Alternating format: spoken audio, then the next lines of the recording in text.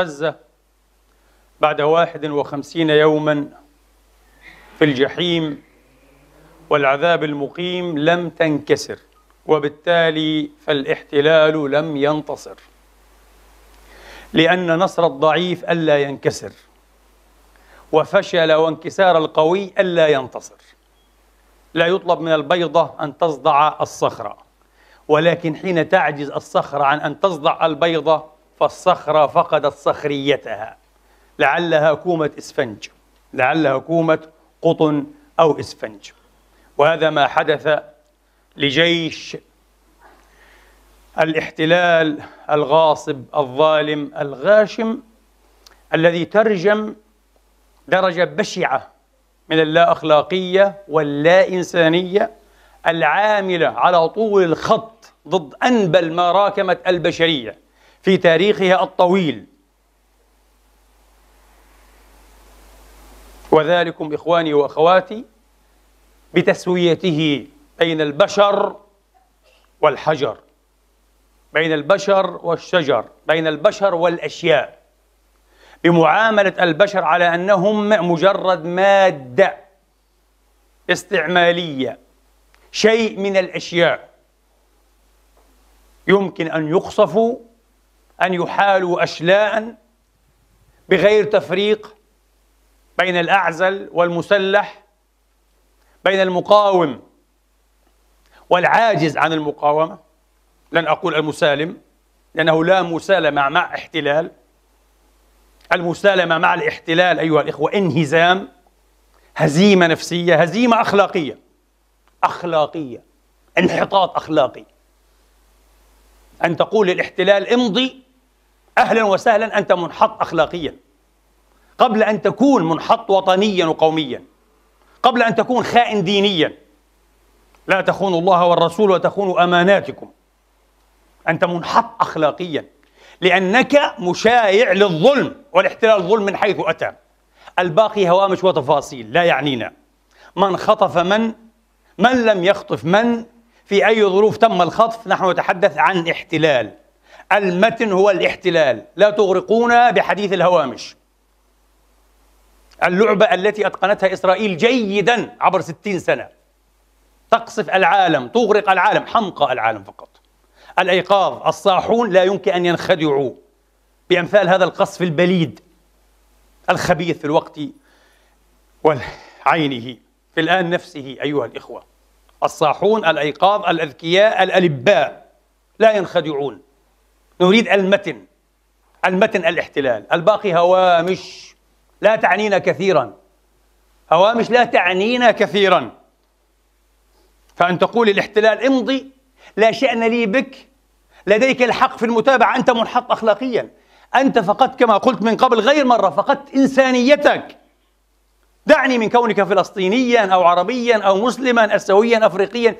لا يعنيني هذا. أنت فقدت إنسانيتك.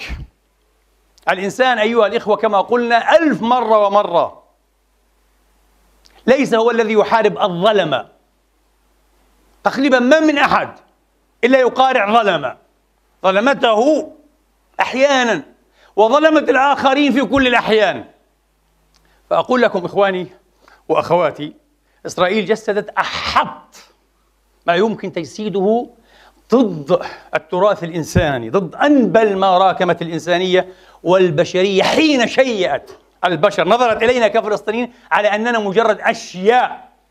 يمكن أن أقتل الأبرياء أيها الإخوة دون أن يطرف لي جفن لكي يحقق إنجازات عسكرية وبالتالي سياسية. تماما كما أقصد بيوتهم أشجارهم مساجدهم مصلياتهم مقابرهم مشافيهم أراضيهم الزراعية؟ أقصفهم. هم بنفس المنطق دون أن يطرف لي جفن.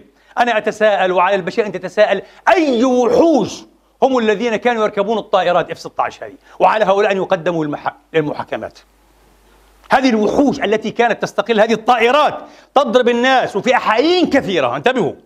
وأنا كنت دقيقا في بداية الحرب قلت في الحقيقة هم ينذرون. وإن كان الإنذار بصواريخ أيضا. تقتل.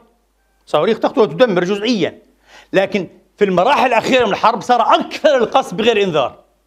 وحين يكون الإنذار لا يتوسط بينه وبين القصف الحقيقي المعقب الإنذار إلا ثواني أحيانا عشر ثواني خمسة عشرة ثانية نصف دقيقة دقيقة مستحيل.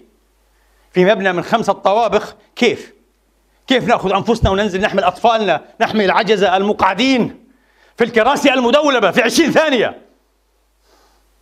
دائما كانت تتهدم العمارات من خمس طوابق وأربع طوابق وعشر طوابق على رؤوس أصحابها. من حق إسرائيل أن تدافع عن نفسها في أنفاق. وكما قلت لكم مئة مرة وفي الطابق السابع عشر في أنفاق. وفي الطابق الخمسة عشر في نفق. نفق يتحرك في البعد الخامس الفيزيائي. والعالم يسكت يتبلد. وأكثر العالم بلادة كانوا العرب حتى نكون واضحين مع أنفسنا. أكثر الشعوب لم تتحرك لم تهتز. وأعربت عن درجة من الانحطاط الإنساني الشعوب العربية. في هذه المعركة بالذات هذا يحتاج إلى تحليل. هذا يحتاج إلى لماذا؟ لماذا كانت هذه ردة فعل العرب؟ العرب الحقيقيون كانوا في أمريكا اللاتينية. ليس في العالم العربي هذا المعهود كانوا هناك. العرب الحقيقيون على مستوى القادة وعلى مستوى الشعوب. رئيسة الأرجنتين تقود مظاهرات بنفسها. تهتف وتصيح ضد إسرائيل ضد ظهور إسرائيل اللا إنساني. الانحطاط الإسرائيلي. وتسحب الجنسية من كل حامل للجنسية الإسرائيلية. من رعاياها تقول لا. لا تستحق. تكون في جيش الاحتلال تقتل تدمر تحمل جنسيتي؟ لا. لم يفعل هذا زعيم عربي. لم يخطر له على بال أصلا. لأن هذا سيزعج الدلوعة إسرائيل وأمها الكبيرة أمريكا طبعا.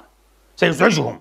وهو يتعبد في محرابهم. هذا الزعيم يتعبد في محراب الولايات المتحدة الأمريكية. لا يريد أن يزعجهم. على كل حال حتى لا نطول في هذه الما قبل من الواضح جدا بفضل الله بعزة الله بجبروت الله بقهروت الله بقدرة الله التي لا ترام ولا تضام أن غزة لم تنهزم.